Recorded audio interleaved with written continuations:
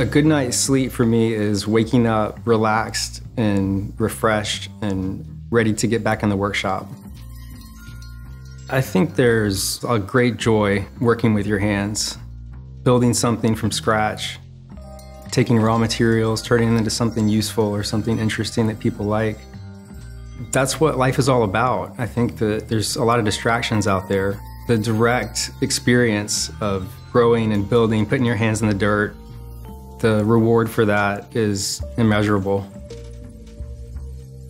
My name is James Gandy. I make drawing machines.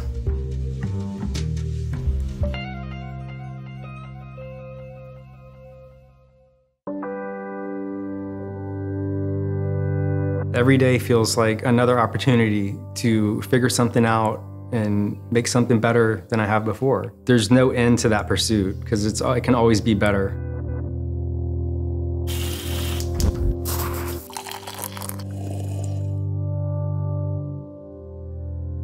When I first start my day, I'll check the computer and see what orders came in. I have sent my work to every continent and almost every state. I'm approaching 800 drawings sold. I wasn't even that concerned about making a living. I mean, I was selling some drawings here and there, and then someone on Instagram reposted a video of mine with millions of followers.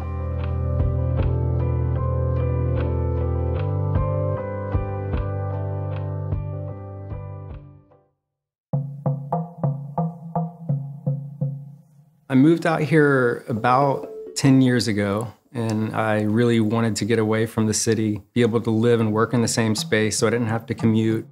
Just having the time and the space to do it is fertile ground for creation.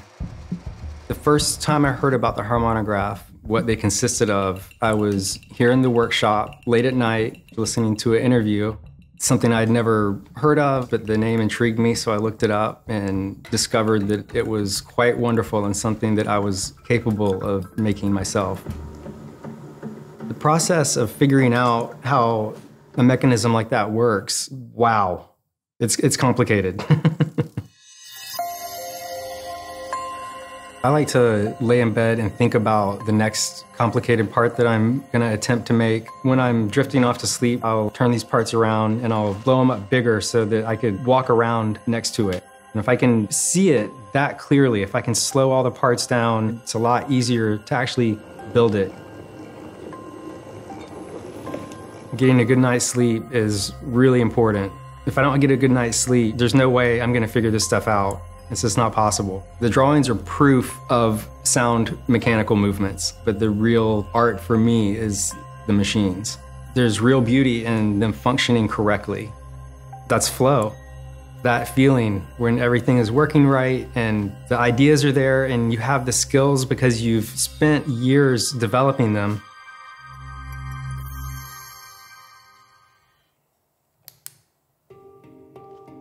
This has brought me a lot of joy, way more than I would have ever expected.